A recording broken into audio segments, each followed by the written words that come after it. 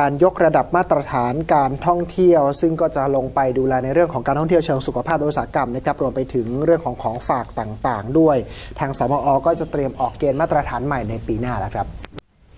นายนัทพล รังสิทธิพลนะครับเลขาธิการสำนักงานมาตรฐานผลิตภัณฑ์อุตสาหกรรม หรือว่าสมอบอกว่า อยู่ระหว่างการกำหนดมาตรฐานด้านการท่องเที่ยวและบริการครอบคลุมใน 2 กลุ่ม คือ 1. การวางระบบมาตรฐานด้านการท่องเที่ยว มาตรฐานการท่องเที่ยวเชิงสุขภาพ มาตรฐานการท่องเที่ยวเชิงวัฒนธรรม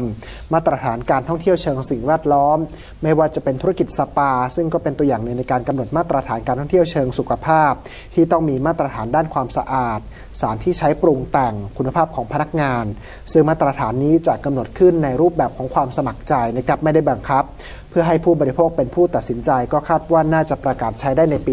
2562 ครับ อีกกลุ่มนะคะคือการกำหนดมาตรฐานของอุตสาหกรรมสนับสนุนด้านการท่องเที่ยว เช่น กลุ่มของฝากของที่ระลึกที่อยู่อุตสาหกรรมอาหาร สิ่งทอ โดยกลุ่มนี้จะมี 2 มาตรฐาน คือมาตรฐานอุตสาหกรรมสำหรับ SME และ Startup หรือว่า SME Light คาดว่าจะเริ่มบังคับใช้ช่วงต้นปี 2561และมาตรฐานผลิตภัณฑ์ชุมชน หรือมอพชที่ดำเนินการอยู่แล้ว ดังนั้นมาตรฐานอุตสาหกรรมสนับสนุนการท่องเที่ยว จึงเป็นกลุ่มเริ่มต้นของนโยบายมาตรฐานด้านการท่องเที่ยวและบริการ เลขาธิการสมอยังชี้แจงกรณีที่มีความกังวลต่อข้อตกลงเขตการค้าอาเซียนจีนนะครับที่จะมีผลบังคับใช้ตั้งแต่วันที่ 1 มกราคมปีหน้า โดยเฉพาะประเด็นการนำเข้ารถยนต์นั่งไฟฟ้า หรือว่า EV ที่ภาษีจะเหลือ 0%อาจส่งผลกระทบต่อแผนส่งเสริมการผลิตรถยนต์ไฟฟ้าในประเทศไทย เพราะราคารถยนต์ไฟฟ้าจากประเทศจีนถูก ก็ต้องหารือกับผู้บริหารกรมศุลกากรครับเกี่ยวกับแนวทางการดูแล ขณะที่บทบาทของสมอ ได้กำหนดแผนงานที่ชัดเจนในการกำกับดูแลรถยนต์ EV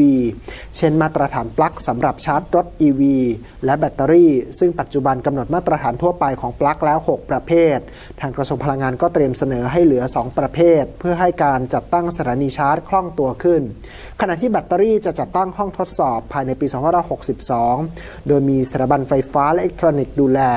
ซึ่งแบตเตอรี่ก็จะกำหนดเป็นมาตรฐานบังคับ เพราะหากไม่ได้มาตรฐานก็จะเป็นระเบิดขนาดใหญ่ที่อยู่ใกล้กับผู้ใช้รถ โดยจะประกาศหลังปี 2562 ครับ